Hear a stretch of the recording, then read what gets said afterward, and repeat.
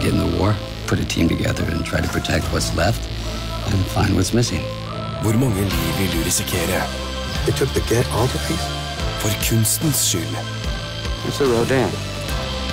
Picasso. You believe these paintings are in the mind? Because it's exactly what we're fighting for A culture, a way of life. I'm proud to be a Monuments Man. Søndagsfilmen The Monuments Men. Premiere 21.00 på TV3.